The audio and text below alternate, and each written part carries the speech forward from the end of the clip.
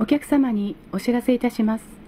お買い求めいただきました船券は、払い戻し確定まで大切にお持ちくださいませ。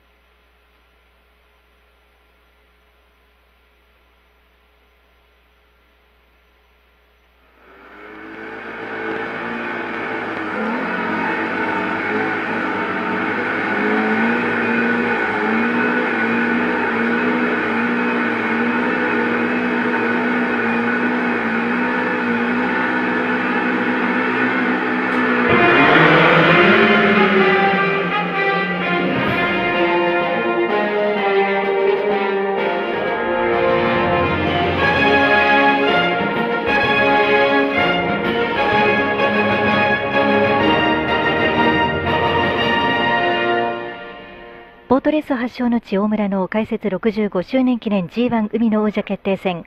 今大会には SG 覇者16名が参戦した強豪シリーズでしたがファイナル6人中3人が G1 初輸出のフレッシャーズ。難敵を倒してきた者がニューヒーローに名乗り出るのか、それとも春から長崎支部へと移籍した原田幸也が4月ダイヤモンドカップに続く地元 G1 連覇を成し遂げるのか、いよいよラストバトル、海の王者決定戦第12レースです。枠番通りの作戦行動、1コース1号艇長崎原田幸也、強力モーターが相手でも経験値が違います。大前自弱の構え、フレッシャーズの挑戦を受けて辰巳。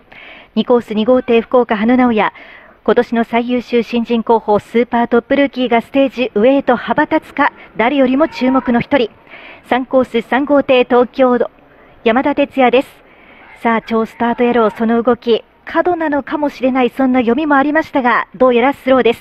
そして4コースは4号艇長崎山口裕二。憧れのステージであり目標だった G1 優勝戦デビュー20年での開花です。そして地元のプライドを見せた一人5コース5号艇長崎赤坂俊介。6コースは6号艇広島新田康明。初優勝した大村でトップモーターを手に G1 初輸出を飾りました。優勝戦枠なり3対3でスタートしていきました。さあ1号艇少し後手2号艇先行。これはまくっていく展開かどうか待ちました。2号艇の花先に運んだ1号艇。差しは2番その間を4号艇山口狙っていく。トップ争いは1号艇2号艇。そして後ろ4番5番6番最高峰3番でスリット裏。2号艇の花が内にいます。外に1号艇の原田と競ります。優勝戦スタートは前提正常です。1周にマーク先に行く2号艇つけばい全速を放っては1号艇ですが2番の花が先行。リードしたのは2号艇の羽野直也さあここに来ればもう独走でしょうか。2号艇の春がリードは2艇進追走は1号艇の原田幸也。3番では4号艇の山口裕二。後には6番5番3番2周目。1枠の旋回。2号艇の原2号艇の春がトップ構想。もう追走しても1号艇の原田は3艇進4艇進差。体型は2番1番4番の体型レースは間もなく2周目第2ターンマークに向かいます。徐々に差を開けてきます。若干22歳2号艇の花がトップを走り今ホーム直線コースそして1号艇の原田幸也3番手は4号艇の山口裕二。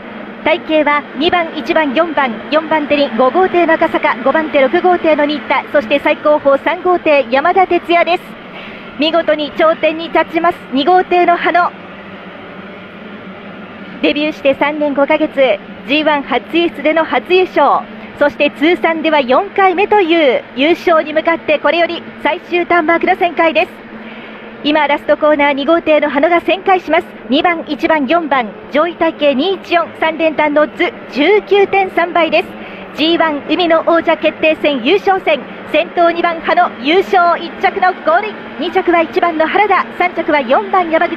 そして6番新田。5番赤坂。ラスト3番山田。ゴールインです。